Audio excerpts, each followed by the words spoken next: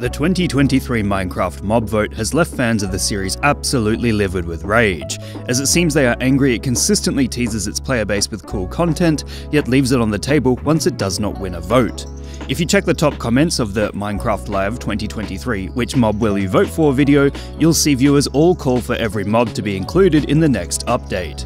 The point of the mob vote is to provide a fun way for Minecraft fans to feel a part of a greater community, and build hype for new additions to the game in an interactive manner. Unfortunately, whilst it certainly builds hype, it would seem fun is the last thing on many people's minds, as the vote seems to breed extreme levels of toxicity. Typically, each new mob is shown in the lead up to the vote with a cute pixel art video, which allows viewers to make decisions based on what they're presented. The penguin offers a speed boost to boats, the crab gives a tool that lets you place blocks further away, and the armadillo can be farmed for wolf armor. Each creature is designed with function in mind, and depending on what type of player you are, offers fantastic boons. The issue seems to be that features players have been begging for are shown on screen once, and implied that they will never be seen again, if they do not win. It leaves the infinite possibility Minecraft brings to the table out of reach for those who have hope their ideas may one day come to life. Who could forget the anger Dream provoked when he asked his followers to vote for the glow squid in 2020, setting many down the path of righteous fury as their favourite new creature lost all chance of existence in favour of an aquatic animal.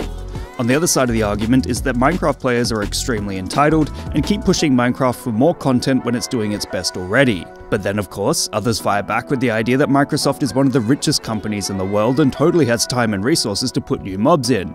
And so the cosmic ballet of outrage bait goes on.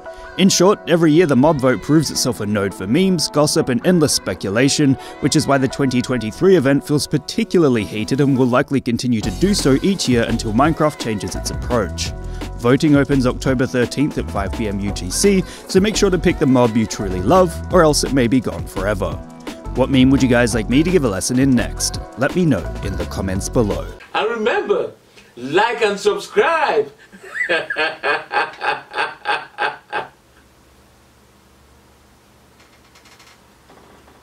or else.